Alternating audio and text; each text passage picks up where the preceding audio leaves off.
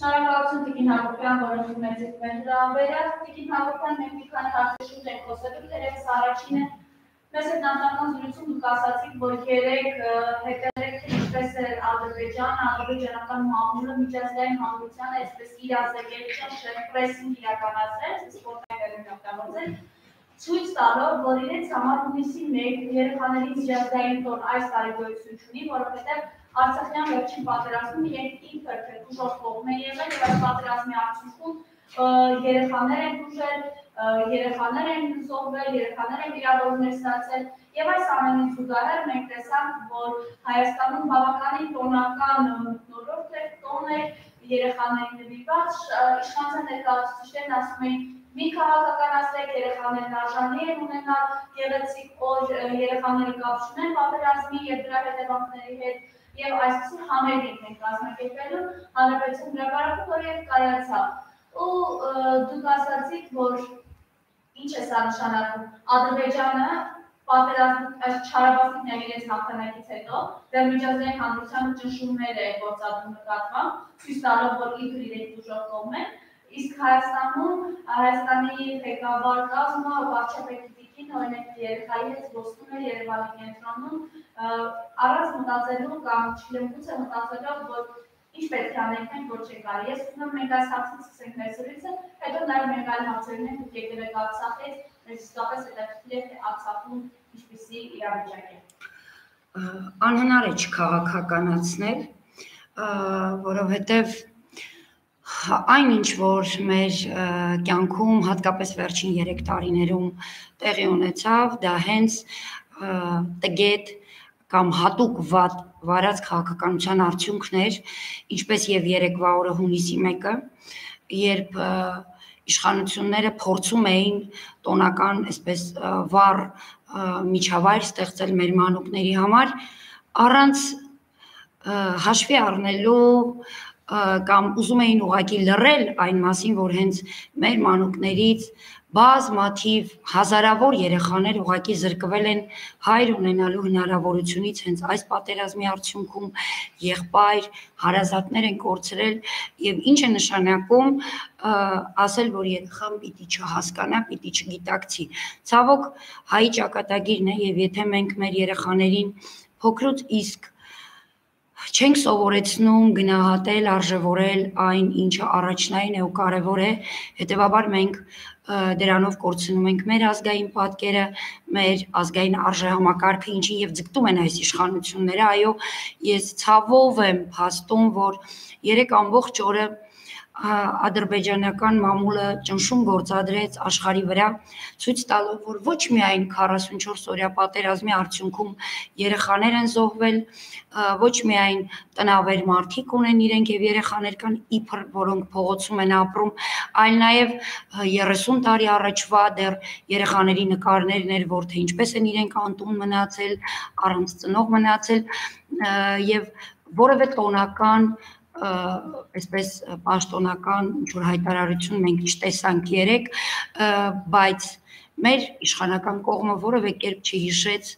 Մարտունիում զոհված 8-ամյա փոքրիկի այո, ապաստարան, այո 40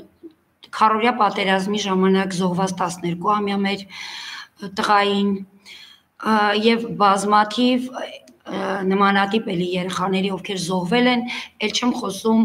անտուն, անտեղ մնացած եւ առանց հայր մեծացող մեր երեխաներին եւ տոնը կազմակերպում էին, չգիտեմ, ում համար էին կազմակերպում, ուղղակի աշխարհին սա եւս մեկ անգամ իրենք ցույց տվեցին, որ այո Հայաստանում իրենք կարողացել են վերացնել հայի արժեհամակարգը, չնայած չեմ հավատում ու երբևէ չեմ ընդունի, որ իրենք կարողացան անել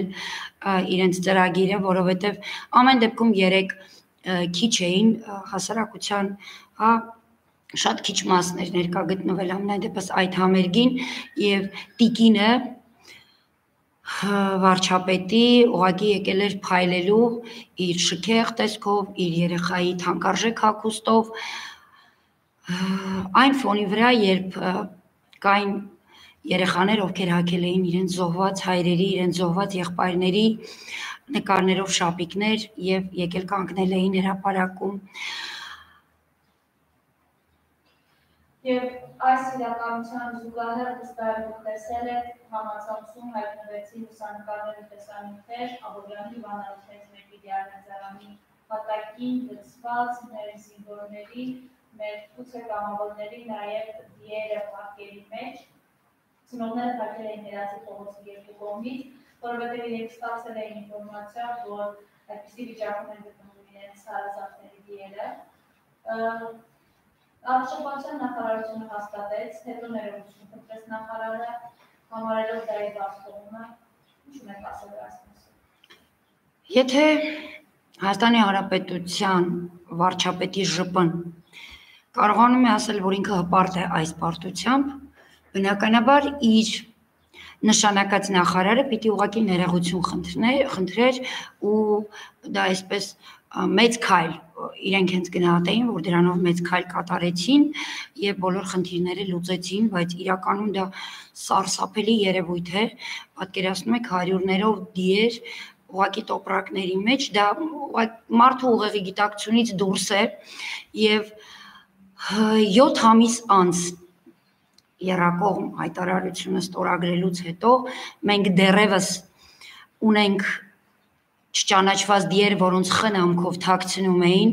ինչը երեք բացահայտվեց, ունենք դեպքեր, երբ օրվա ընթացքում եւս 3-4 մասունք են գտնում, այսինքն դա նշանակում է, որ պատերազմը շարունակվում է, պատերազմը չի ավարտվել եւ հենց պատկերացրեք, հենց այդ նույն օրը իրենք տոն էին նշում նաեւ, ինչը չգիտեմ, եթե մարդ է, ուղակի մարդ, նույնիսկ պարտադիր չի դրա համար հայ լինել հասկանալու համար, թե ինչ ապիկար մարդասպան են հենց այս իշխանությունները ու իրենք ուղակի չհայ են, որովհետև երրակողմ հայտարարության արդյունքում գոնե 3 կետ կար, որ կարելի էր ոչ թե ի օգուտ կամ ի նպաստ ասել, այլ գոնե որ մեզ հոգեբանորեն մի փոքր կհաներ այդ վիճակից, որի մեջ մենք անմիջապես հայտնվեցինք։ Առաջինը դա գերիների անհապաղ վերադարձներ, որ այդպիսի կետ կար, ինչը 7 ամիս է անցել ու չի կատարվել եւ այսօր նորից գերիների ծնողները ռուսական դեսպանատան արչև են գտնվում պահանջելով ռուսական կողմից իրենց զավակների վերադարձը այն պարագայում երբ դրա ուղիղ պատասխանատուն Հայաստանի վարչապետն է եւ իր ողջ թիմը իսկ իրենք այսպես սահուն կերպով դա բարթել են ռուսական կողմի վրա համարելով որ եւ այնպես մարդկանց մեջ մտցնելով որ դրա պատասխանատուն ռուսական կողմն է հաջորդը դա Այո, դրա մասին եմ ասում, որ մարդիկ այսօր մոլորված են եւ ամբողջ այս ամիսների ընթացքում իշխանական թևը միայն ասում էր լրեք, ով խոսում է գերիների թեմայից, նա ձգձգում է գերիների վերադարձը։ Բավականին ժամանակ էր, որ ընդդիմությունը լռում էր ընդհանրապես նորից մտածելով, որ միգուցե իրենք ինչ որ քայլեր են անում եւ տարբեր խողովակներով բարձվեց, որ իրենք բաց հարցակայտողությամբ որևէ քայլ չեն անում եւ և հիմնական բանակցող այդ ուղությամբ ռուս խաղապահների ղեկավարը, այո, պարոն Մուրադովն է, որը վերջերս ցավոք դատարկաձեռն կրկին վերադարձավ եւ դա եւս այս ապիկար իշխանությունների գոյության արդյունքն է վստահ եմ իրենց չլինելու դեպքում շատ ավելի արագ կլուծվեր, որտեղ մենք իրականում չենք կարողանում ապրել գիտակցելով, որ մեր եղբայրները, մեր հարազատները այսօր գերեվարված են եւ այսօր արդեն մեր երկու գերիների դատներ Ադրբեջանում, որոնք իբր 90-ականներին ռազմական հանցագործություններ են կատարել եւ իրենց որպես ռազմագերի դատում են եւ իրականում այդպիսի փաստեր չկա, բայց նորից տեսեք իշխանական կողմը Ադրբեջանի այնպես է աշխատում, որ ամբողջ աշխարհը տեսնի, որ իրենք ոչ թե գերիներ են, այլ ռազմագերիներ են, որոնք կատարել են հանցագործություններ։ Հաջորդ քայլը, որ այդ երրակողմ հայտարարությամբ պիտի կատարվեր հայկական իշխանությունների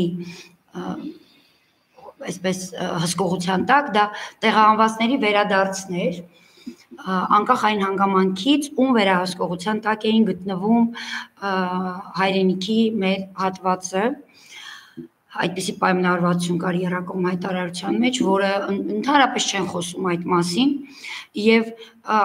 հաջորդ ամենակարևոր կետերից մեկը, որ բոլորը պիտի մնային այն դիրքերում, որտեղ եղել են հենց ստորագրման պահին, ինչը եւս չկատարվեց, եղավ առավելը իհարկե Արցախում ստորագրելուց հետո նորից գյուղեր, ոչ թե մի քանի մետր, այլ գյուղեր տրվեցին ճշնամուն ուղակի ստորագրությամբ վարչապետի դրանից հետո կատարվեց մեզ համար լրիվ անպատկերացնելին ճշնամին կարողացավ ուղակի քայլելով գալ մտնել Հայաստանի սուվերեն պետության տարածք, սպանել, գերեվարել եւ շարունակում է առ այսօր, որովհետեւ կրկին հովիվների հետ դեպք էր կատարվել, մարմնական վնասվածքներ էին ստացել, գողացել էին անասունները եւ հոխորտացել, որ այլևս այդ կողմերում չերևան։ Այսինքն այս գործընթացը վարչապետի ժամանակավոր պաշտոնակատարի թեթև ձեռքով շարունակվում է եւ ուղակի քայլելով իրենք գալիս են ու տեր լինում արդեն մեր սուվերեն հայրենիքի տարածքներին այս անգամ երբ ես գալիս էի Արցախից հատկապես շատ ուրախadir եմ եղել ինչ վտանգ է ներկայացում երբ որ իշխանասարն է լինում իրենց վերահսկողության տակ խոսքեր գնում Տիգրան Աշենի մասին ինչ է կատարվելու դա ճշնամուն տալուց հետո եւ դա անպատվել անպատմելի է, որովհետև այն իրավիճակում, որ այսօր գտնվում ենք մենք Ստեփանակերտում, հայտնվելու են ուղղակի այդ տարածքում, այդ մասում բնակվող մեր հայրենակիցները, որովհետև եթե մենք այսօր Ստեփանակերտից տեսնում ենք դեպի Շուշի գնացող ադրբեջանական շարասյուները, մեր վերահսկողությամբ անցնող ճանապարհներով, նույն վիճակը կատարվելու է այն պարագայում, երբ որ իշխանասարը Տիգրանաշենը կհայտնվի ճշնամու վերահսկողության տակ, այն պարագայում, երբ վարչապետը իր ցինիզմի համեմատ հայտարարում է, որ ոչ են գնալու տարին 12 ամիս ձյուն է այդտեղ սահման պահեն զինվորը ժողովրդի պահապանն է այսինքն եթե իր տրամաբանությամբ փորձես վերլուծել, դա նշանակում է, որ զինվորը յուրաքանչյուրիս բնակարանի արժև պիտի կանգնի եւ հսկի մեզ։ Բայց բոլորս են գիտակցում, մենք այն ազգն ենք, որ յուրաքանչյուրիս ընտանիքում հաստատ զինծառայող կա եւ բոլորը լավ պատկերացնում են զինվորի գործառույթները որն է ինչը չի կարող պատկերացնել այս իշխանությունը, որովհետև իրենք շատ նուրբ են դրա համար, իրենք իրենց ներկայացուցիչները մենք 44 օրվա պատերազմի ընթացքում տեսանք ականատեսնեինք ինչպես էին սպիտակ կոշիկներով, սպորտային կոշիկներով պատերազմում Արցախում եւ ես անընդհատ ուշադրություն էի դարձնում իրենց կոշիկների վրա, որովե բիծ չեղավ այդ ամբողջ ընթացքում։ Այդ տեսակ են իրենք պատկերացնում զինվորական գործը։ Տիկին Հակոբյան, Արցախում Մարիկ Հարությունյանը շարունակում է լինել նախագահ,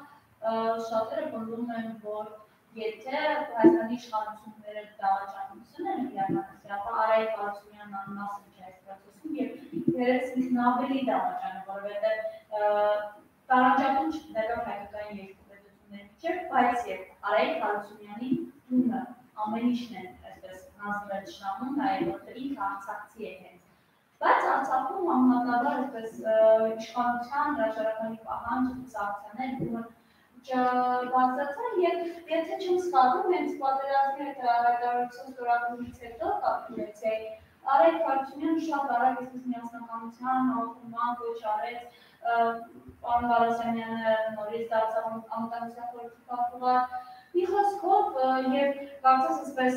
թե դիմության Արցախի եւ թե իշխանության ներկայացուցիչների հաշվետու անց պատրաստ են բոլորի հետ գնալ որպեսզի Արցախը վերականգնվի։ Մենք տեսնում ենք այս վերջում, որ նոր նշանակումներ են Արցախում եղել։ Ես խնդրեմ նշանակումներին անդրադառնալ։ Ինչպես նաեւ կա համագործակցություն Արայք Հարությունյանի հետ, թե ոչ։ Կա այն Արայք Հարությունյանի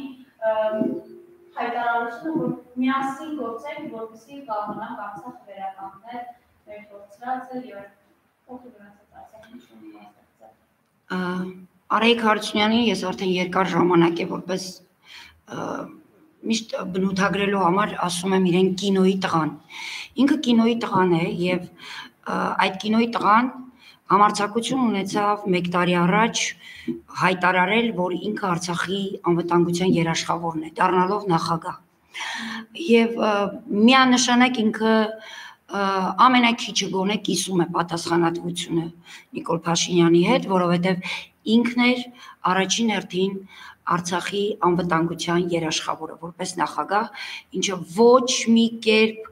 չարտահայտվեց եւ ինքը տեր չեղավ այդ իր համանadrական իրավունքին նաև պահանջներին ինչ վերաբերվում է համագործակցության մասին կոչերին դա եւս արվում էր ուղակի իլուր որպեսի հանդիսատես ինքը կարողանար ապահովել, այսինքն կրկին թատրոն էր խաղում։ Իհարկե շատերը գնացին համագործակցության Արայիկ Հարությունյանի հետ, որովհետև դերևս ընդդիմադիր չեն կամ ճիշտ չեն պահում իրենց ու ճիշտ չեն խոսում այն մարդիկ, ովքեր համագործ ուղակի բեմերից հայտարարում են, որ իրենք ընդդիմություն են, ոչ, շատերը ուղակի ցավոք սրտի սպասում են հարմար պահի, որpիսի ինչ որ պաշտոն ստանան եւ այդ կերակրամանից իրենք եւս օգտվեն, ինչը վերջին ամիսներին բոլորը տականատես եղաք, թե ինչ արագությամբ կատարվեց նաև Արցախում եւ միակ քաղաքական ուժը մենք էինք, որ որևէ համագործակցության չգնացինք, չնայած որ ի սկզբանե մենք նոյեմբերի 12-ին պահանջելով Արայիկ Հարությունյանի հրաժարականը նաև ճանապարհային քարտեզ էինք տվել փրկության եւ ոչ թե համագործակցություն էր ինքը ակնկալում, այլ ուժերի համախմբում, որպիսի կարողանայինք արագ դուրս գալ այդ վիճակից, քաղաքական ուժերի համախմբում, ինչը տեղի չունեցավ, որովհետև 4 խմբակցություններից մեկը միասնական հայրենիքը արագ փոխեց կրկին վերադարձավ իր նույն գործելավոճին եւ շատ շատերը ուղակի հայտնվեցին Արայիկ Հարությունյանի նավի մեջ չգիտեմ գիտակցում են թե ոչ այդ որ այդ նավը միևնույն է խորտակվելու է չնայած փորձառու են այդ առումով շատերը ուղակի կփախչեն նավի վրայից մինչ այդ բայց ամեն դեպքում գնացին եւ դրանից հետո ուղղակի ամեն ինչ վերածվեց շոուի եւ վերածվեց նրան, որ Նիկոլ Փաշինյանը սկսեց բացահայտ ղեկավարել ու կառավարել Արցախում, կատարել նշանակումներ եւ նաև ինչ որ տարօրինակ գումարների ներհոսք Արցախ, ինչ որ հիմնադրամների ստեղծում Արցախում եւ բոլորս ենք հասկանում, թե ինչ մեխանիզմով մեխանիզմներով են հենց այդ հիմնադրամներով գրպանում ընդհանրապես գումարները այն եւ չեն ծախսվում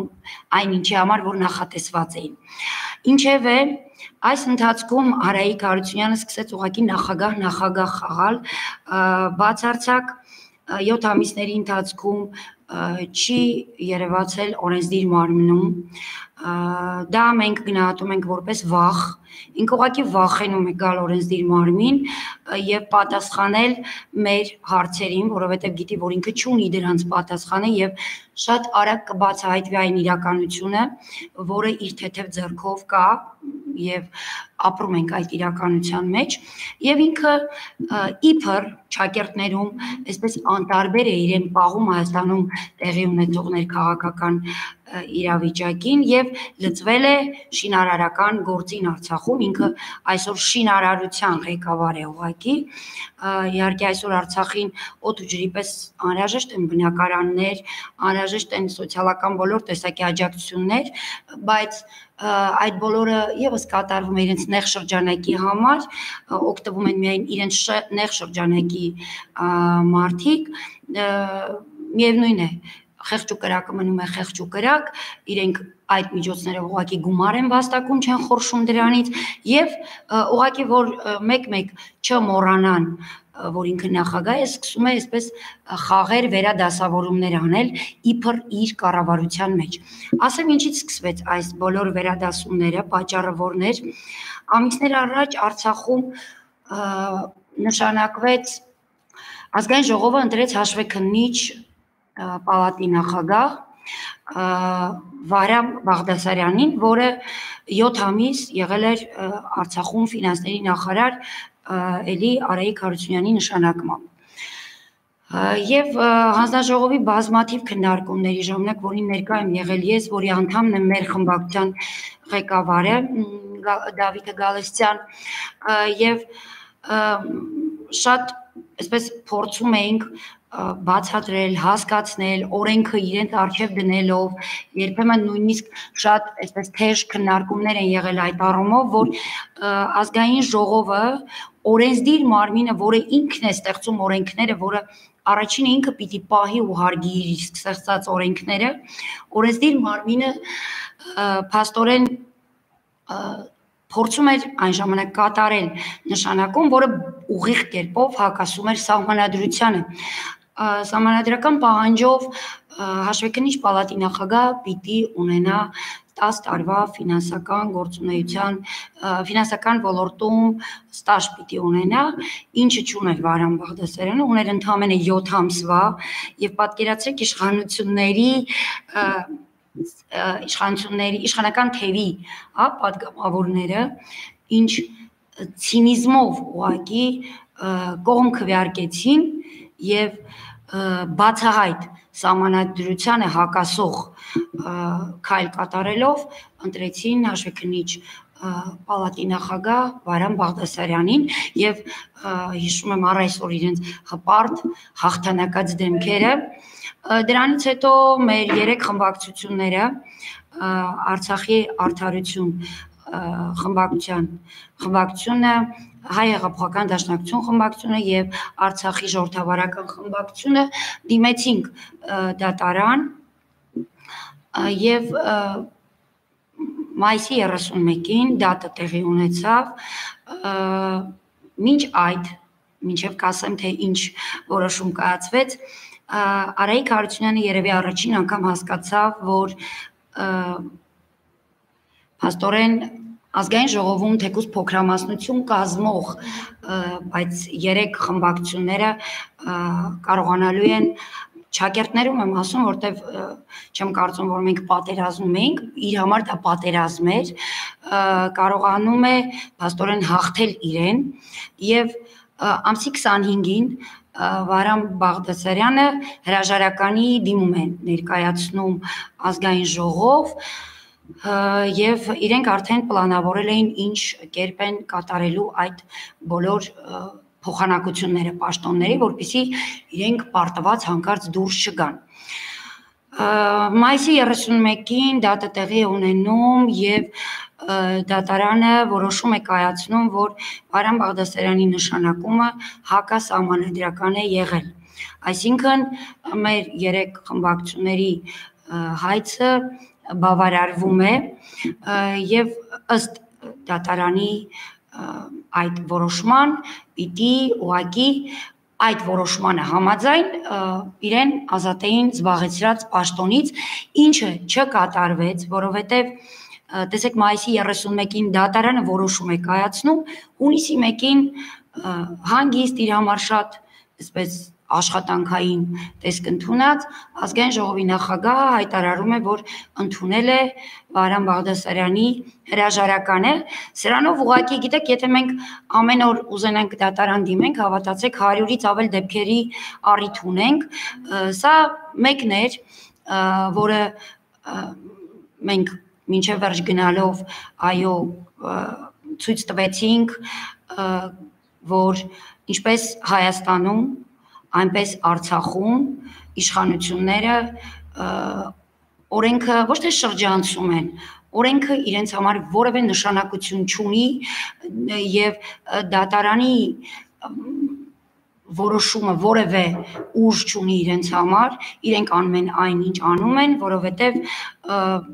իրենք իրենց տեր են ուղակի զգում այդ ամեն ինչի եւ մարդկային կյանքերի։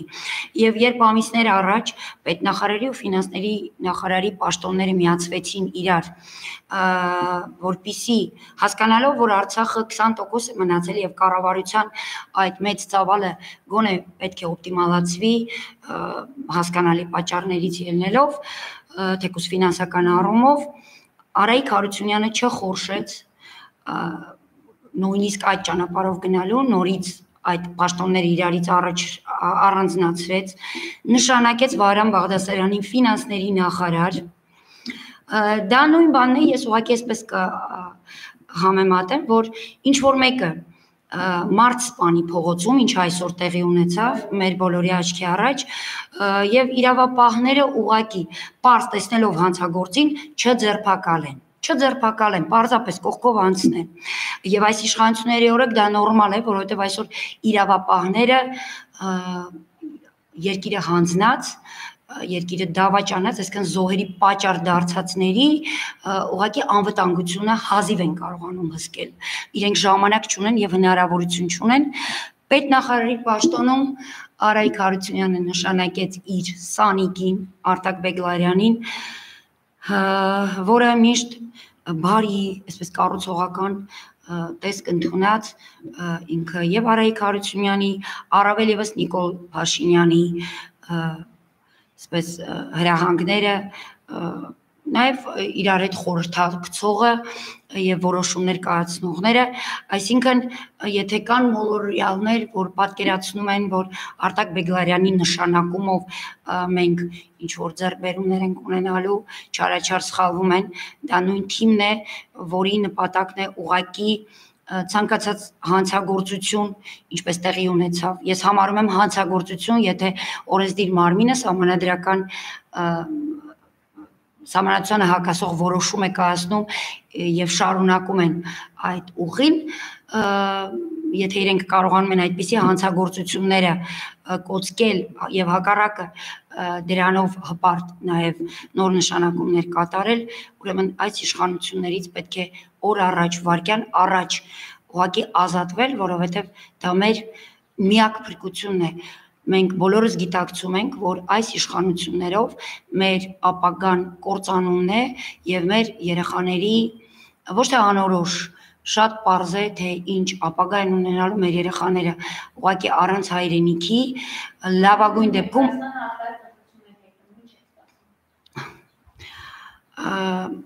բազմիցս եմ նշել, որ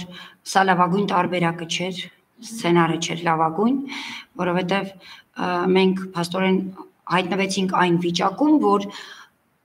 այսքան հանցագործություններ կատարած իշխանությունները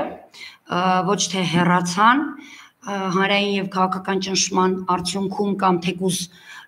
բարոյական ինչ որ չափանիշներից ելնելով, այլ իրենք մնացին, իրենք հոխորտացին, իրենք հպարտացան, եւ թելադրեցին իրենց օրակարգը ու մեզ բոլորիս տարան դեպի արտահերտ ընտրություններ եւ փաստորեն այլ ելք չունենալով բոլորս գնում ենք դեպի դա եւ մեր միակ հույսը այսօր ցանկացածս ցանկացած գիտակից մարդ ում կյանքի նպատակը ստամոքսը չի միայն ունի իրականում իրական արժեքներ բոլորս գիտակցում ենք, որ որոշվելու է հայի ճակատագիրը։ Հունիսի 21-ին որոշվելու է հայի ճակատագիրը կամ կործանվելու ենք, եթե կընտրվեն այս իշխանությունները կամ ապրելու ենք, իրականում կարողանալու ենք տեսնել թեկուզ մի փոքր հերվում, բայց ապագան եւ կարողանալու ենք հույսեր տածել ոչ միայն անվտանգ ու խաղաղ երկիր ունենալու, այլ նաև իրականում բարգավաճելու եւ ավելի լավ ապրելու ուղղությամբ։ Շնորհակալություն Տիկին Հակոբյան, շնորհակալություն, որ ամեն անգամ արժանից դառնում Հայաստան, պատասխանատվություն հայտնում մեզ հետ զրուցելու չեք մերժում։ Սպասենք զարգացումների տեսնենք ինչ է սպասվում Հայաստանի ու Արցախին։ Շնորհակալ եմ։ Շնորհակալ եմ ձեզ։